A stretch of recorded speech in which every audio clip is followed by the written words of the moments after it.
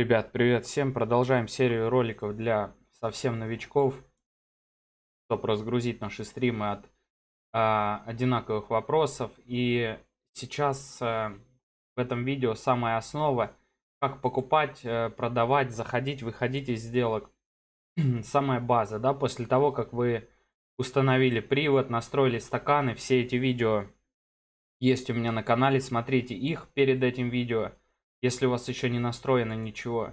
А сегодня в видео покажу именно как заходить, выходить из сделок. И быстренько покажу, как выставлять объемы, да, а как ими работать. Хотя в предыдущем видео я и так показал, как э, заходить, выходить в сделки частями. Но сейчас именно вот заходы, выходы из сделок. Смотрите, мы выставили себе монеты, да, которые нам нужны. Вот, допустим, NIR монета. Теперь мы хотим купить монету. Сначала вам нужно определиться, где вы да, торгуете, на фьючерсах и на споте. Когда мы открываем монету, нажимаем на название, у нас есть выбор спот, фьючерсы. А я торгую на фьючерсах, поэтому выбираю бессрочный фьючерс. Рядом у меня открыт стакан спота. Вот здесь спотовый стакан. На споте можно только торговать в лонг, то есть на повышение.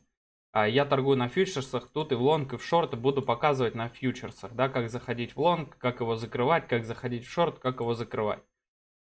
Смотрите, допустим, э, у меня есть депозит 100 долларов, да, например. Я хочу зайти первым плечом, то есть на 100 долларов. А, еще забыл сказать, также смотрите именно перед этим видео механику, как работает сделка на понижение. У меня на канале тоже. Видео называется «Как зарабатывать на падении». Вот, можете посмотреть его, будет очень полезно. Теперь смотрите. В этой панельке мы выставляем объем, которым хотим зайти. Например, мы хотим зайти на 100 долларов. Тут мы пишем либо же считаем в голове, но сейчас есть такая функция, как ввод в долларах. А, и вводим 100 долларов, а он нам сам считает, сколько это будет монет. 6 монет будет равно 100 долларов. Все, я хочу зайти. Чтобы мне купить монету, то есть зайти в лонг на повышение, я должен зайти левой кнопкой мыши, нажать на стакан. Левой кнопкой мыши в красную область. Красные продавцы, то есть здесь мы сразу можем купить. Вот, я зашел на 100 долларов, видите, цена сразу идет вниз. А, теперь, чтобы закрыть сделку, мне нужно нажать правой кнопкой мыши на стакан там, где покупатели, да, то есть зеленые покупатели, мне нужно им продать. Если бы цена пошла вверх, например, то она бы была вверху, да, мне нужно вверху нажать правой кнопкой мыши. Сейчас цена внизу, мне нужно продать. Если я продамся сейчас, я закрою сделку в минус, да, нажимаю продать правой кнопкой мыши. Нажимаю продать, все, я только что купил и продал, но продал в минус, да, точно так же а, обратно этому работает сделка на понижение, то есть правой кнопкой мыши мы продаем, то есть сделка в шорт у нас сначала идет продажа, правой кнопкой мыши нажимаем продаем, и левой кнопкой мыши нам нужно закрыть сделку. Все, когда у нас внизу появилась панель, видите, мы на 6 монет стоим на понижение в шорт.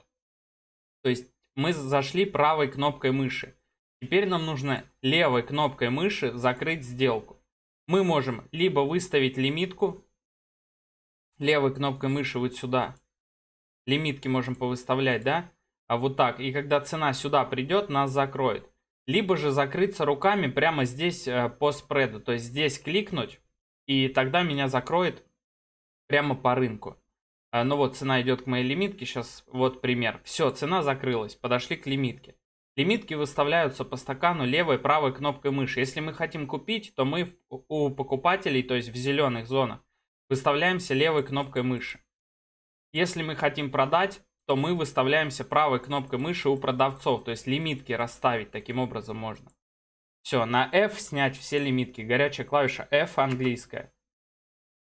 Снять все лимитки. Таким образом мы покупаем, продаем. Ничего сложного нет, просто нужно привыкнуть к механике. Еще раз повторяюсь, сделка на повышение в лонг.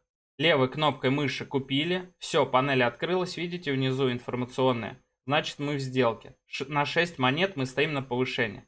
Теперь правой кнопкой мыши по спреду, вот где у нас сейчас цена, мы продали. То есть закрыли сделку, все, закрыл.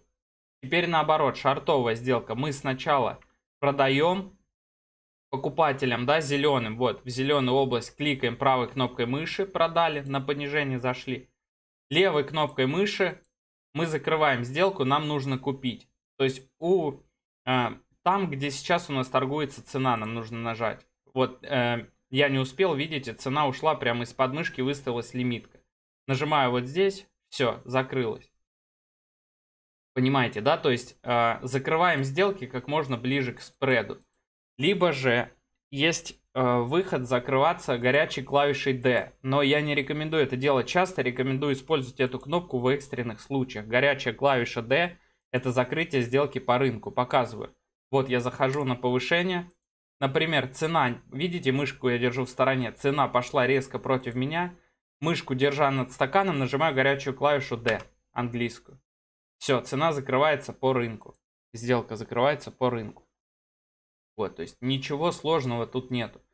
А, все наши действия происходят а, в основном мышкой. Открываются, закрываются сделки. Есть горячие клавиши.